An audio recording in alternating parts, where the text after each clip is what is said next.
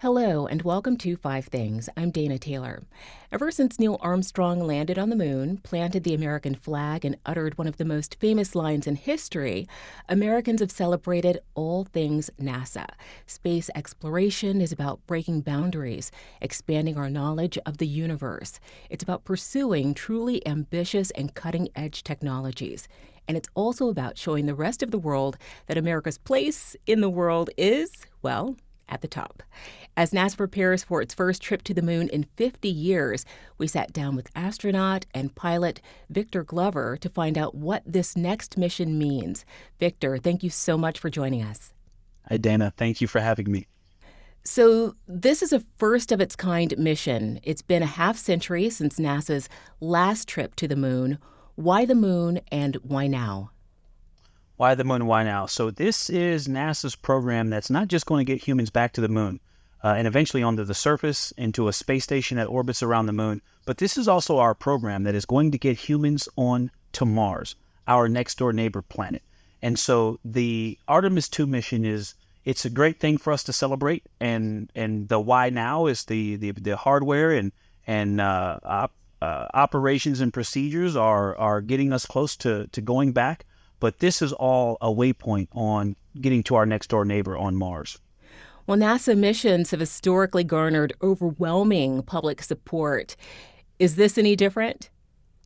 Uh, the public response has actually been really amazing. It is so encouraging to see. You know, I work for NASA, so I think about this stuff all of the time, and, and I have a great regard for our team and the technology that we work with.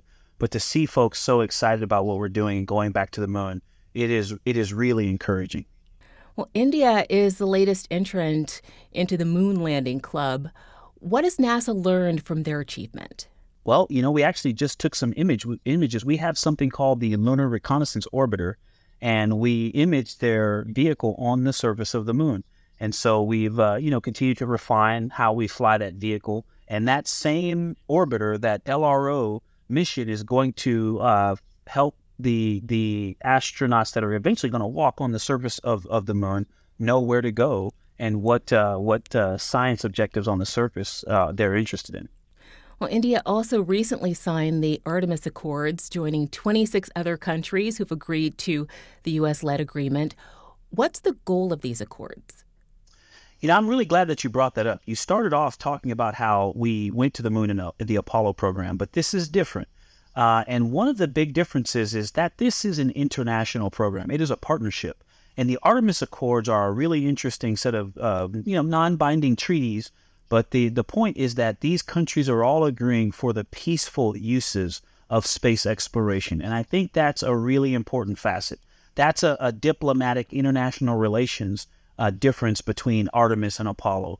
But also, you're seeing it in the terms of the technology and the teams. Our crew has an astronaut from the Canadian Space Agency, and our spacecraft is made up of pieces from NASA and the European Space Agency. Our solar arrays are on what we call the service module, and that's uh, made by a company in Europe and, and given to us by the European Space Agency. So this this partnership between corporate America and, and the public, but also between countries, is a very important, unique facet of the Artemis program.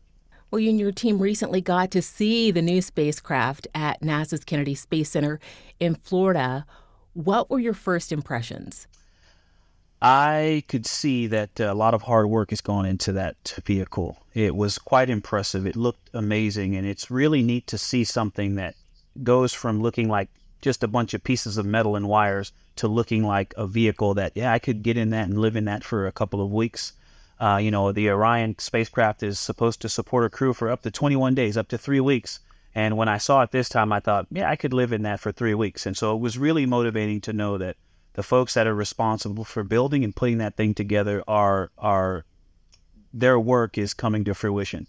And so I'm really happy for them because this program has been in the works for a really long time, much longer than uh, the time since they've announced this crew. People have been working on this, some of these pieces uh, for for decades. And what new technology excites you most about the Orion? Uh, Orion's uh, most unique um, technology, uh, I think, is just the modern nature of the manufacturing processes that create this vehicle. it is not. Uh, it, it, looks like an an, an Apollo capsule. Uh, you know, it's got uh, new software, but the modern manufacturing processes that we use, like friction stir welding and and, and advanced materials, uh, allow us to do things that we just couldn't do back then. And obviously, computers are, are more powerful. And so all that's going to come together in a spaceship I can live in for three weeks, and uh, and then I'm going to get to fly that thing by hand in space, and I'm really excited about that. Well, Artemis 3 was going to be the next mission to the moon with a targeted liftoff in 2025. That mission is going to include a moon landing with astronauts. They haven't announced the crew for the mission yet, but they have said that it will include the first woman and the first black person. It's hard to imagine a better candidate than you. Do you want to break any news with us today? well, so, okay, you know, I don't, I'm not the public affairs folks, so I wouldn't do that. But uh, you know, I but but the point that you bring up is way more important. I know it's really um, interesting on the who. We want to put the who in it, but I think it's really important just to celebrate the what. This is what we're going to do. We're going to send the first woman and the first person of color to the surface of the moon. This mission is going to send the first non-American, the first woman and the first person of color, the first black astronaut to to orbit the moon. And so I think the fact that we are intentional about doing that is something to celebrate.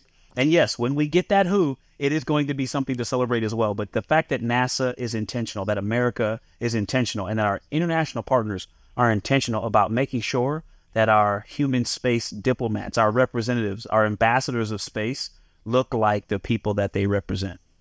Well, NASA tapped SpaceX a few years ago to develop the first commercial lander for Artemis 3. And while its first flight was successful, there was a setback in April when the Starship exploded four minutes after launch.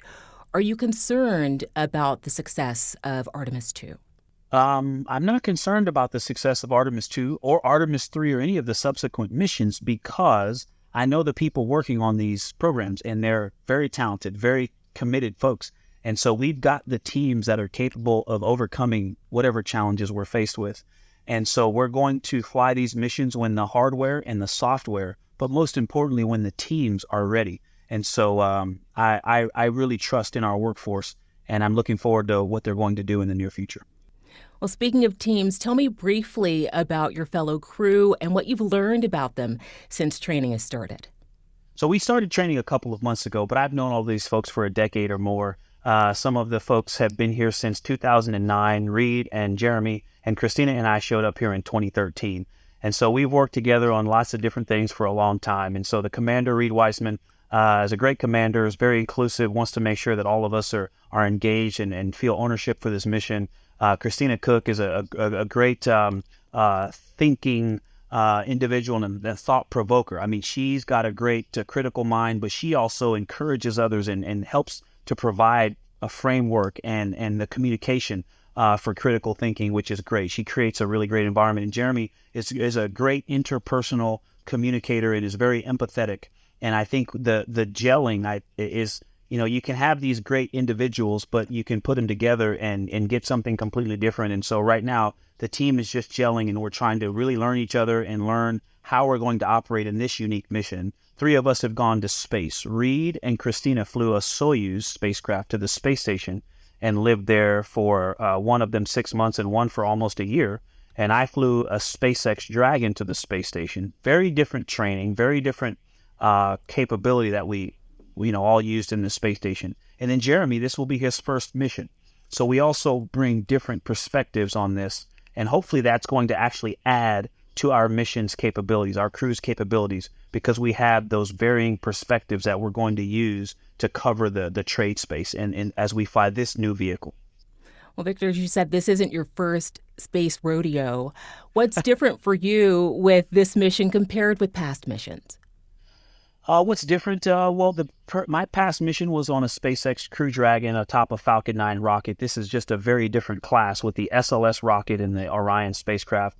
So new systems to learn. Uh, but you know, getting into orbit is about a 10 minute ride, and then uh, orbiting the Earth is uh, something you do about every 90 minutes. That part is the same.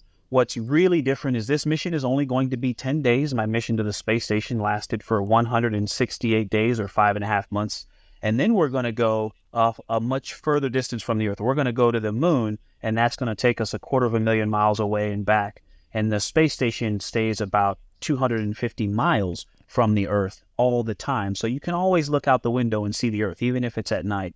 And so there's some differences in how you prepare for that. You know, one is like going away uh, to college where you know your parents can send you care packages and you can go home and, and wash your clothes.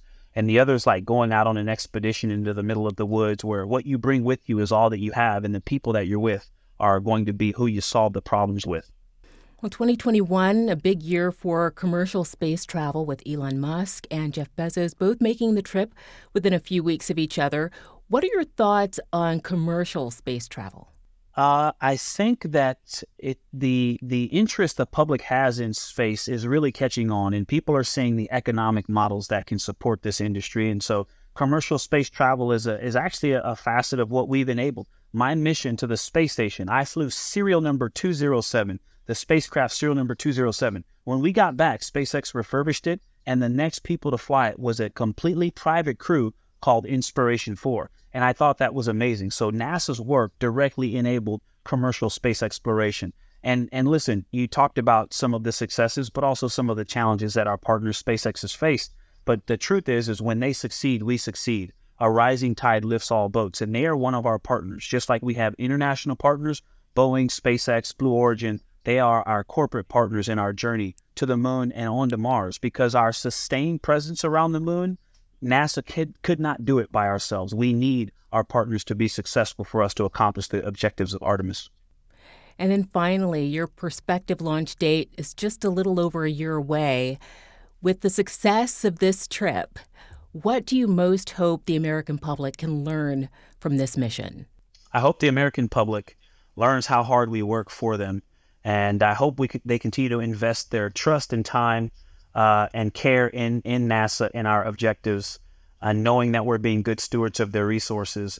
And I hope the American public and humanity in general understand the power of teamwork and working together, not putting our differences aside, but working through those differences and using them to strengthen our mission. And I hope this mission can continue to be a sign and a beacon of, of greater cooperation and peace. Uh, this international program, this international crew, these international Artemis Accords should hopefully inspire greater togetherness across borders, but also in our home countries. Victor, thank you so much for joining us today. Thank you for having me. Thanks for watching. I'm Dana Taylor. I'll see you next time.